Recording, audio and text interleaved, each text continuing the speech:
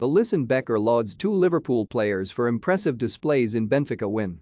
Alisson Becker has praised defenders Ibrahima Konate and Trent Alexander-Arnold after both put in impressive performances in Liverpool's victory over Benfica in Lisbon.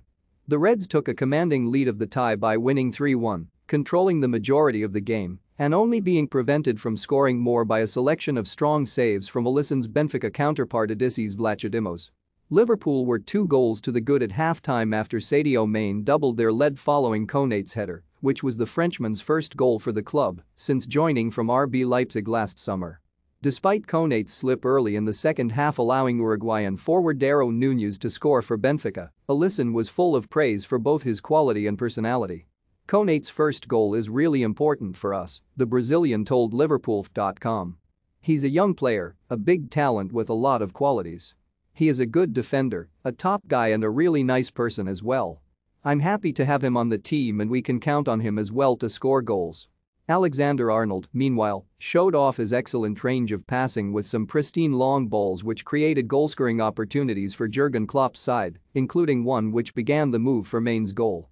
I should have joined Liverpool, Götze opens up on Klopp reunion regrets Peter Schmeichel, Jamie Carragher and Thierry Henry predict Champions League winner it creates a problem Arsene Wenger sends Mohamed Salah contract warning to Liverpool Alisson lauded that goal is amazing and was full of praise for Alexander-Arnold's contribution to it.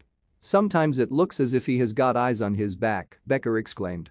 He just gets the ball and puts it there.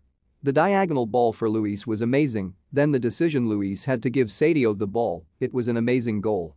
Everyone can score in the team, that is good for us, and we keep on going and get ready for the next one. Liverpool have already won the Carabao Cup this season and will play Manchester City in the semi-finals of the FA Cup at Wembley. They are just one point behind Pep Guardiola's side with eight games remaining in the Premier League and will face either Bayern Munich or Villarreal in the semi-finals of the Champions League if they progress. Jurgen Klopp speaks out on Liverpool's interest in signing Erling Haaland Peter Schmeichel, Jamie Carragher and Thierry Henry predict Champions League winner for more stories like this, check our sport page. Follow Metro Sport for the latest news on Facebook, Twitter and Instagram.